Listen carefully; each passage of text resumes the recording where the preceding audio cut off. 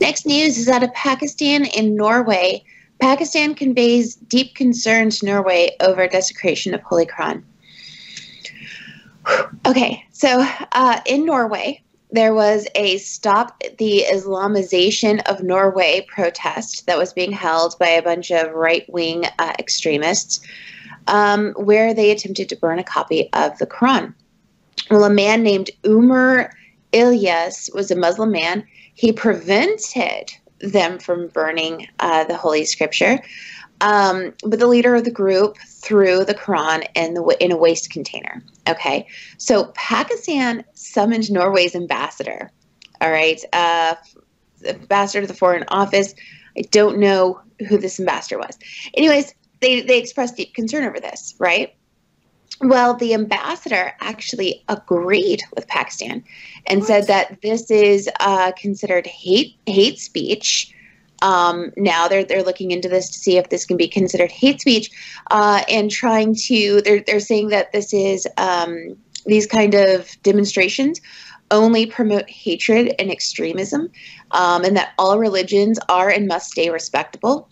Um, that Islamophobia is a threat to global peace and harmony. Um, but here's here's one of the biggest problems with all of this is they're actually saying that anything that Muslims get extra um, hurt when somebody criticizes their religion or uh, Prophet Muhammad. So, because they become extremely hurt, uh, this is an attack on people. The, the, an attack on the ideology is an attack on people. And because of their feelings. Yeah, uh, and and and so they bring this. They they brought up a situation where they said, you know, um, I've seen a movie that is a Christian saying this, right? I've seen a movie where they uh, they attacked Jesus Christ, right? Um, and you know we're able to handle that, but we need to understand that you know the the Islamic culture doesn't handle people making fun of of their prophet and their their religion. So we need to be more sensitive towards them. To me, I think if we're saying that another group of people can't handle the same thing we can handle, I think that that that, that is bigoted. I yeah, that's outrageous. That's bigotry of lower expectations. So you're saying yeah. like, oh, us Christians, we're mature enough to to accept uh, people criticizing or making fun of Jesus, but these poor Pakistanis, they're just they're just so sensitive, right? So yeah. we can't hurt their feelings. Like, so you're yeah. the bigots here. They said that it generates emotional pain um, amongst the among the followers. So people who do this, this is no longer freedom of speech. Mm. Um, burning the Quran is not freedom of speech because it, it causes pain to people. But what's what? Like so? Wait. So we have a new definition of freedom of speech. Freedom of speech means to them means speech that doesn't cause pain to people. I mean, if that's if that was to people's feelings. If that was freedom of speech, then we wouldn't need free speech laws because it would be because everybody would be just saying things that everybody else would be like, well, I'm not hurt by that, so I don't need to shut that down because nobody is upset about it. The whole point of having free speech free speech laws and freedom of expression laws standards is because some people want to use their hurt feelings to shut down speech. If you only say things that other people are not hurt by then you wouldn't even need freedom of expression laws. Like, are you are these people serious? I mean, imagine we use these standards on on them, right? I'm an ex-Muslim, okay? I I left Islam, and my feelings get hurt by the Quran. The Quran constantly, the Quran and the Hadith, Islamic scripture, constantly uh, refers to kafirun, all three of us here, as people that deserve to be tortured for eternity. Well, that just hurts my feeling. Ban the. I almost swore. Ban the Quran. Ban the effing Quran. Okay? Because it hurts my feeling. I'm, by the way, just to be clear for the few people out there that don't get it, I'm not actually in, uh, in, um, in favor of banning the Quran because I'm not a sensitive snowflake. I could take it, right? Go ahead and promote your nonsense everywhere. I'll just fight against it in a, in you know, by talking talking against it, but I'm not in favor of banning your nonsensical book, right? But if I if you if we apply the same standards to you, My, you know, this is a the Quran is offensive to me. Ban- are you gonna uh, allow me to ban that? Like, think. So here's the thing: they they are upset that the book, the paper, paper was burned. Okay. You're worried about paper. I'm talking about a book that says I, I should be burned. I should be burned. My body needs to be burned forever. Okay. So if they're hurt by paper being, if their if their feelings are hurt by paper being burned, then what about my feelings about my my body and my family's body and everybody that I love being burned for eternity? So my, my, my is my feeling is going to matter in the equation as well? Are we going to ban the Quran? And another double standard, like imagine this guy saying, this ambassador from Norway saying what? Saying, oh, um, oh yeah, I, I think the burning the Quran just encourages extreme extremism. You know what actually encourages extremism? The Quran, right? So imagine, imagine if you the um, Norway called out the Pakistani ambassador and they said so. Right now, the headlines say Pakistan conveys deep concerns to Norway over the desecration of Holy Quran. Imagine if the title was Norway concerns deep concerns to Pakistan over extremism due to the influence of Quran. Imagine the uproar, imagine the reaction the entire Muslim community would have to that. Imagine how many people would have been calling Norway uh, Norway's uh, you know government bigoted and all of that, which which actually that would be a more accurate statement. You know what the reaction to this should be the problem with this is that only alt-right people are, you know, I burned the Quran, I have it on YouTube, but we can't let the alt-right people be the champions of freedom of expression because I could tell you if the alt right was in power, right? If alt right had more influence than the, these far leftists, they would have been suppressing free speech as well, right? So the alt right just pretends to be the champion of free speech, but we know historically always when they're in power, everything becomes like uh, you, you, know the the left calls it problematic, uh, the far right calls it what do, what do they call it? Uh, what what is their version of haram? I forgot the word that they use, but they they are the they are also the champions. Of, uh, they they're not the champions of freedom of speech. They will they will restrict freedom of speech as well. They just they, the far right is only uh, in favor of free speech because right now they're not in power and they want to be able to say what they want to be able to say, and other people are trying to shut them down. But for this, we need to steal the platform away from far right when it comes to promoting free, freedom of speech and take it to people that are actually the um, defenders of uh, enlightenment values. We need to steal it from the, both the far right and the far left pretends to be for, for enlightenment values. The far right by taking the freedom of expression mantle and pretending they fight that, even though they're not technically for it, they will uh, they will betray it. And the far left by using LGBT and um, uh, race, uh, you know, fighting racism uh, and all that stuff, which is not really their agenda. Their agenda is something else, but they use all that enlightenment values, which is treating all people equally, uh, you know, equal opportunity, not equal outcome, equal opportunity. They use that enlightenment value as their as a tool for their um, real agenda, right? Right. Uh, so both the far right and far left use some of the enlightenment values to try to gain power uh, and become more relevant. And we, the actual defenders of enlightenment values, need to take these away from them, not by force, but by actually doing it ourselves. And how do we do that? By burning the Quran. And if you're in Norway, you have to respond to this. You have to respond to this. You have to go out and burn a Quran burn the Quran. Don't be. Don't let the alt-right people be the only people that are burning the Quran. You need to. This needs to backfire. If anybody is suggesting that your freedom of expression needs to be limited in any form of any way, even the suggestion of that needs to backfire. And a lot of people need to go out and be like, "Oh, is this what we you, you don't want us to do? Well, now we're gonna do it a lot more." Anyway, sorry, I went for too long. Let me see what the top comment is. Top comment is saying Anna is saying respecting a book but not woman funny that also um, hailing a person who physically attacks someone as a hero is wrong on so many levels. Yeah, actually, this guy that was burning the Quran, the alt-right guy, is he an alt-right guy or is that just something they're saying? Because they, a lot of times they're saying that uh, he probably, I don't know, is he? I don't know. I don't know. Yeah. So yeah, just remember that we don't know if this guy was actually alt-right because I've been called alt-right many times. Um, so Anna is t- very r- right because it was when he when the guy was burning a Quran, this Muslim guy just comes out and punches him in the face, doesn't he?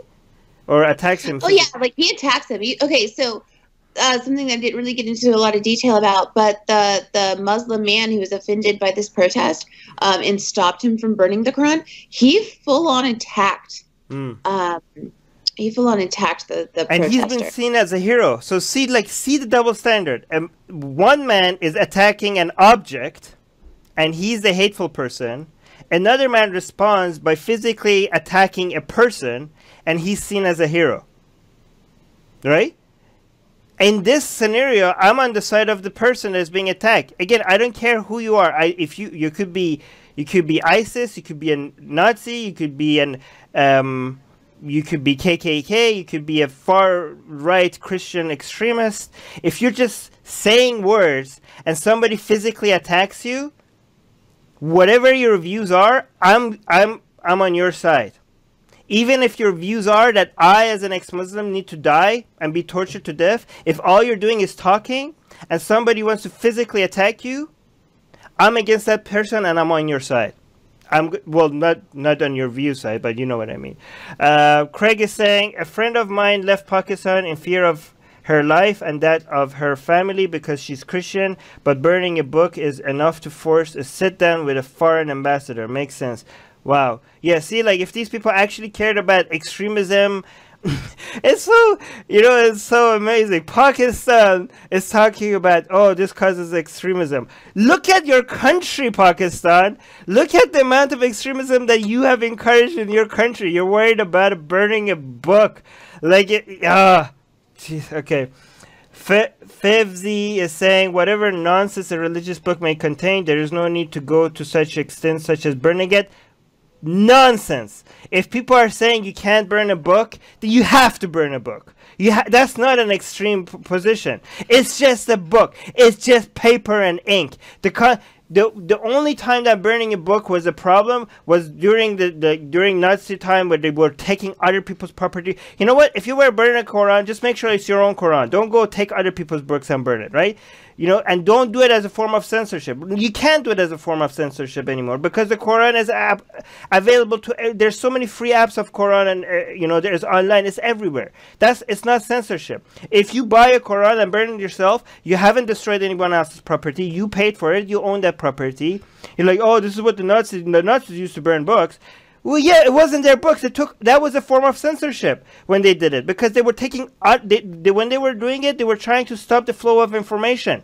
Okay, when you burn a book Quran today, you're actually might be increasing the flow of information because pe- more more people want to might want to read what's in it, so that it's deserving of burning. Okay, just just make if you're burning a Quran, just make sure you're doing it in a very very safe way, right? B- you know, be very careful. Um, but it, it's not an extreme position. You know, the only thing valuable valuable about a book is the content within it, the ink and the paper. There's nothing fake, sacred about the, the the ink. Okay, Fe- Fevzi continue.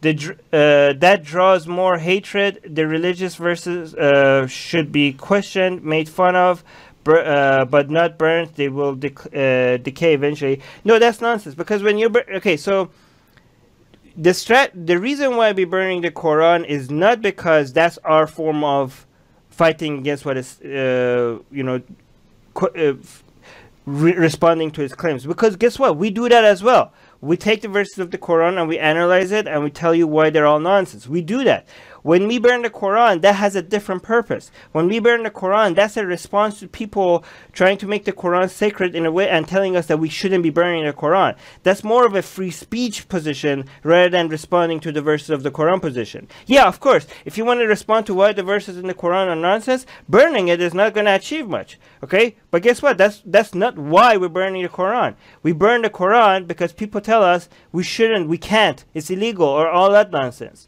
that's a more of a free speech position. And it's not an extreme position. When I burn the Quran and people say, well, that's hateful, I burn a copy of my own book, why there, the, my book is Why There Is No God. I burn a copy of my own book right next to it. Because, look, oh, look, if this was hateful towards any group of people, that means that I'm hateful towards myself. It's nonsense. It's absolutely nonsense. There's nothing sacred about a book. Anything useful about a book is the content within it, and that content is still there, and everyone has access to it. I have three copies of the Quran. I burned only one of them because I, I the two other ones are I want to keep because I want to keep reading the Quran and analyze it, and I like um, I like to do that with my. Um, anyways, so I'm not getting into too much, but it, oh so I ex- top three comments. Two of them were good. One of them I completely disagree with. Do you guys want to add anything? No. Uh, I feel like uh, this kind of stuff is the reason why many people are changing their votes from the left to the alt right. Yeah, so we need to make sure that people understand that. Uh, again, I left. I mean, the we have to make sure first all that the far left doesn't represent the left, and also the alternative to the far left is not the far right. There are actual real champions of enlightenment values, and the, we need to be louder and we need to make a home for these people because the, the you know uh, we shouldn't make the reason why far right grew for a bit, and I think the growth is going to stop at some point. Uh, but because a lot of people saw that as the only alternative, uh, that's why we need to be there. That's why other people need to burn the Quran. Other people that are not part of the alt right need to burn the Quran as a huge signal to people for a home that are actually uh, the people that are actually standing for freedom of expression, and they will always fight for freedom of expression, not only when it's inconvenient, right? Uh, the alt right right now is standing for freedom of expression because it's in their interest. We fight for freedom of expression for everybody, including our enemies. Atheists are under attack in many places. If they were Christians, their voices would be heard. If they were Jews, their voices would be heard. If they were Muslims, their voices would be heard. But they are atheists, and not many seem to be listening. Let's make it difficult for them to ignore us. We have built a global community, and now we are tearing down geographic, cultural, and language barriers so we can find each other and support each other. In the last decade, we have built the largest atheist community in the world. Now we're doing the same in other languages. With your help, we have started Atheist Republic in Persian and Arabic. انضميت مؤخرا لأسرة Atheist Republic وحيصير عندي بودكاست باللغة العربية. As we grow, we can dedicate more time, staff, and resources to start doing the same in Spanish, Portuguese, Malay, Bengali, Urdu, Hindi, and other languages. We are providing community, support, informative content, and amplifying the voices of those who need protection, especially in countries where people feel isolated simply for their lack of belief. We want to be there for them, and we are only getting started. Help us get there. Check in the description for ways you can support our projects.